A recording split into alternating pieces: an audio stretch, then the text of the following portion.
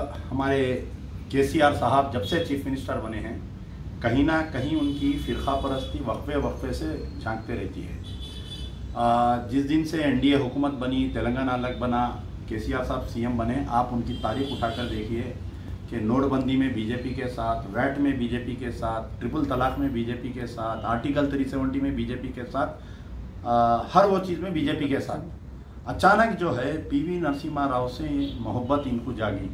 क्या वजह है वो समझ में नहीं आ रहा। क्या ये राव ख़ानदान के है बोल के या ये मुसलमानों को ये बतलाना चाह रहे हैं कि जिस शख्स ने तुम्हारी बाबरी मस्जिद को तोड़ा हम उसको हीरो बनाकर तुम्हारे दरमियान में पेश कर रहे हैं। सबसे पहले तो यूनिवर्स हैदराबाद यूनिवर्सिटी का नाम बदला गया। फिर उसके बाद में आ, आ, एक साल तक उनका जश्न मनाया गया सेनेटरी सेलिब्रेशन बोलकर। फिर उसके बाद में एक डिस्ट्रिक्ट का नाम रखा गया पीवी नरसिम्हा राव डिस्ट्रिक्ट बोल के कोई डिस्ट्रिक्ट का वरंगल का किसी का नाम बदल के। नेकलेस रोड का नाम बदल के पीवी नरसिम्हा राव नाम रखा गया।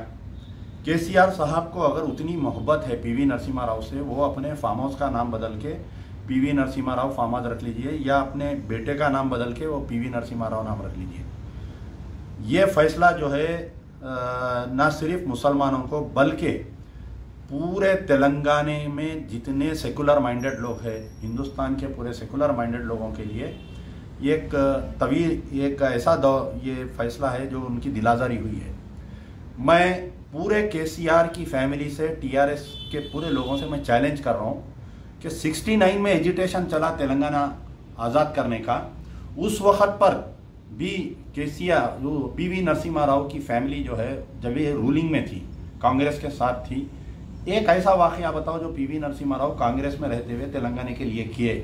एक ऐसा वाक़ बताओ मुझे जो PV Narasimha Rao prime minister रहते हुए तेलंगाना के लिए कोई बड़ा प्रोजेक्ट लाए।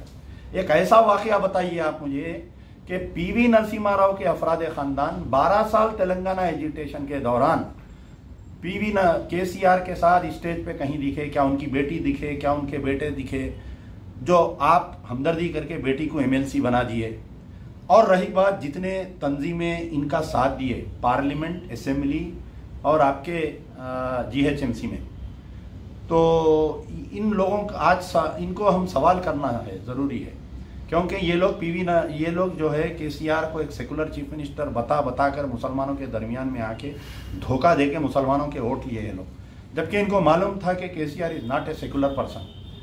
और अब ये सवाल इनमें हिम्मत नहीं है कि जाके के सी ये पूछने की। चाहे आप मजलिस इतिहादुल मुस्लिमीन का नाम लीजिए, कल तक असदुद्दीन ओवैसी बोलते थे, स्टेयरिंग मेरे हाथ में मैं ड्राइवर हूँ। ड्राइवर जाके क्लीनर हो गए। कल तक अकबरुद्दीन ओवैसी साहब ये बोलते थे कि, मैं जिसको चाहे उसको तख्त पर लिटा सकता हूँ, मैं जिसको चाहे हम, हमारे में इतनी ताकत है, हम किसी को भी तख्त पर लिटा सकते ऐसा दिख रहा कि के साहब ना सिर्फ़ इनको तख्त पर लिटा दिए, अकबरुद्दीन ओवैसी को, बल्कि इनको शहर बदर कर दिए। जब से ये दो हज़ार अट्ठारह का असेंबली इलेक्शन हुआ है, ये लंदन में ही रह रहे हैं, हैदराबाद में आ रहे हैं। दीगर तंजीमें ख़ास तौर पर सबसे बड़ी ज़िम्मेदारी आयद होती है जमात इस्लामी के ऊपर। और दीगर तंजीमें जितने भी उलमा मशाइन के सी आर को सेकुलर या के सी आर की बिरयानी खा के जाके उनकी तायद करे तो आया क्या के सी आर का जो फैसला है पी वी नरसिम्हा राव की मोहब्बत का, वो इस फैसले में भी तायद कर रहे हैं क्या इसका सवाल है? तमाम लोग कहाँ पर है? टीआरएस में जो है छः यानी मुस्लिम MLC chairman, home minister mayor, deputy mayor, कई लोग हैं। सारे लोग खामोश है केसीआर के मसले पर, ये पीवी नरसिम्हा राव के मसले पर। कब बोलेंगे ये लोग, बताइए। ये लोग अगर ये सोच रहे हैं मजलिस की क़्यादत और राव फैमिली के सी आर फैमिली ये सोच रहे हैं कि इलेक्शन तक लोग भूल जाएँगे, अभी तीन साल है इलेक्शन को। तो मैं मजलिस इतिहादुलमसलमिन को 94 याद दिलाना चाहता हूँ, जहाँ पर बाबरी मस्जिद के मसले पर आवाम जो है, सबक सिखाई और मजलिस एक सीट पर आ गई थी। मैं चैलेंज करने के मौकूफ में हूँ। मैं आज से तकरीबन आलियर इनकाउंटर के बाद में ये कहा था कि के सी आर का पॉइंट अगर आप उतारेंगे तो खाकी चड्डी निकलेंगी। आज वो बात साबित हो गई मेरी। कल जो लोग मेरा मज़ाक उड़ा रहे थे, आज ये लोग कह रहे हैं कि हाँ वाकई आप सही बोले थे। अब मैं ये कह रहा हूँ कि ये पीवी नरसिम्हा राव के मसले पर अगर खामोश बैठेंगे तो अवैसी खानदान से कोई शख्स इलेक्शन नहीं जीतेगा और केसीआर के खानदान से कोई शख्स जमानत नहीं बचेंगी। केसीआर साहब की जमानत नहीं बचेंगी। केटीआर, हरीश राव, कविता जैसा निजामाबाद में इलेक्शन हारे ना, वैसा पूरे इनकी फैमिली के एक एक मेंबर हारेगा। और टीआरएस का वही होगा जो तेलुगु देशम का हुआ, जो कांग्रेस का हल हुआ।